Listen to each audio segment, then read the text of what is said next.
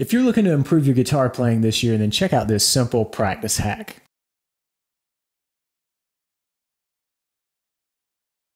Hey, I'm John with the Blues Guitar Institute, and this is your Tuesday Blues where we take cool acoustic blues concepts and we break them down into small, bite sized chunks so that you can get this stuff into your playing as fast as possible. And today we're going to continue this theme that we've been really focusing on, and that is how to really get a lot of results from your practice time. It's very easy to fall into the trap of practicing and not really getting anywhere. And today I'm going to show you a little practice hack that will really help you get some results. And I'm talking about recording yourself. This is a cool little tip. It's something that I do all the time, and not just for these lessons, but something I put into my personal practice that can really help you get further and further in your progression as a guitar player. We'll talk a little bit deeper about why, and then I'll show you a couple things as far as like how to do it. You don't need a huge elaborate setup. You can actually get done with probably some technology that you have just at your disposal already. First off, why do you need to record yourself? What's the win here? Well, back in Tuesday Blues, number 181, we talked about deliberate practice, and that's a concept coming from a book uh, and several studies of Dr. K. Anders Ericsson. It's all about performance mastery and how you actually get better, the science behind it. So it's really cool stuff. And one key aspect of um, deliberate practice, which is the mechanism to help you get there, is that it requires uh, focus and it requires feedback. And the feedback part is what we're going to focus on today.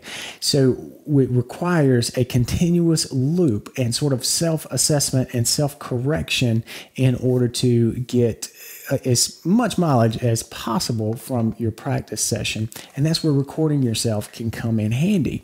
If you play a performance or you play through a piece that you've been practicing and you record it, you can go back later, whether it's video or audio, doesn't matter, but you can go back later and watch it or listen to it and then listen with a critical ear and really listen to see if you made any mistakes, see if you nailed it. You want to be critical, you don't want to be too tough on yourself, but you want to be honest and you want to say, you know what, I missed that bend or my timing's a little off, and make notes as you do this. And then this that, that little bullet list that you come up with, number one, it might scare you if this is new to you. Um, you're recording and listening back, it's going to uncover some things in your playing that you did not have a clue that you were doing. But write down, jot down that little bullet list as you go back and listen. And I, I, recommend doing that listening session without the guitar, even. So put that down and just use your ears or your ears and eyes if you're doing a video. But then the key is to go back and work on those areas, work on smoothing things out, get some practice materials ready that are targeted on fixing that problem Okay, that's how you use this stuff. That's how you use a recording to actually get better. Think of it as the way you know athletes and pro teams will spend hours and hours and hours watching video, breaking down video. They're using that stuff. It's valuable information, and the same can be valuable for you if you record yourself with a video or just audio only, as long as you play it back and you go through the process of being a little self-critical and then making sure that you can not only diagnose that the problems in your playing, but that you can practice your way around it. Okay, as I mentioned before, you can get started with probably the technology that you already have, and the most obvious solution here is a smartphone. If you have a smartphone that's made within the last, I don't know, five years, the camera on this thing is pretty awesome, and it's definitely good enough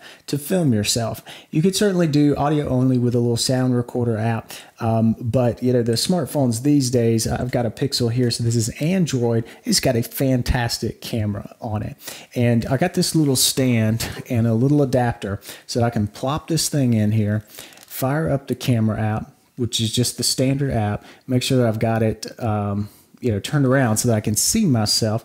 And I just sit this thing on the desk and make sure that my guitar's in in frame, and then I can record. And I'm picking up you know a good sound, decent sound, not the best with the microphone on here, but it's good enough. And the picture is is actually quite quite good. You can save the video, upload it to YouTube, private, uh, set it to private so you're not sharing it with the world if you don't want to. These are your practice sessions that might get a little too raw, a little too real. But the key is that uh, this is a go to way of recording. Very easy, very quick. And again, most of us already have this technology just right at your fingertips.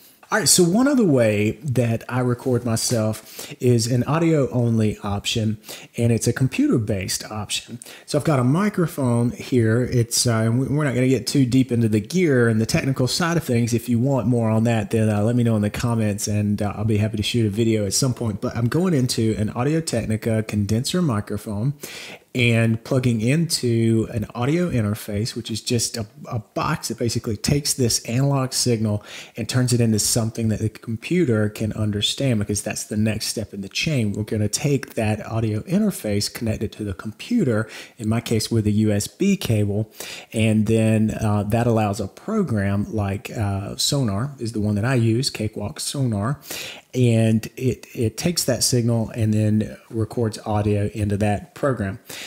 So there's more that goes into that. And again, we're not going to get too in the weeds on that. It's a simple setup. Um, and it's amazing how cheap you can actually get started with this stuff. But the cool thing is once it's actually in Sonar, you can export. There's pretty good audio quality, a lot better than what I'm getting from my phone. And it's good enough so that I, I don't mind sharing it with people. Uh, I don't mind getting comments or review notes from from my, my guitar buddies that way. And then I also will, you know, burn a CD or, you know, put it, um, you know, on my phone so that I can stream it somewhere. I like to put things on loop and listen to it as I'm driving. And that's a way I can make some mental notes on just, you know, what parts of that performance make me cringe. And that's the key part is you got to really listen for the mistakes, make note of them, and then come back and address them. But anyway, this is a quick setup. Again, the microphone going into the audio interface, audio interface into the computer. The computer, it doesn't stop there, right? You got to get that file, get that thing out of the computer and use it. And that's the same if you're recording on the phone. You got to use what you capture. And that's the magic, and that's how you apply the concepts of deliberate practice. So we've talked about why this is important, why you should record yourself. We've talked about two ways of how you should record yourself, and now what should you record? Well, here's an idea, and it's a, a shameless self promotion here, but check out BGI's premium uh, member area and the courses that come with premium membership. Now, a lot of those have a performance video, and if you're practicing and practicing and practicing, a great way to check yourself would be to record yourself playing the practice video and then do a little self assessment on that. Or for bonus points, you can post that video in the premium members forum and get some comments from your friends, some encouragement. And, you know, I'll chime in and, and give you some helpful hints, tips, and tricks there as well. All right, that's it for this week. I hope you really enjoyed this. I know there wasn't any string action going on here, but this is really, really important. If you want to get better this year, try this little practice hack along with the other stuff that we've been talking about recently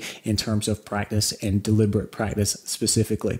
All right, that's it for this week. If you like this video, hit the like button, hit subscribe. Be sure to practice smart and play on, and I'll see you next Tuesday.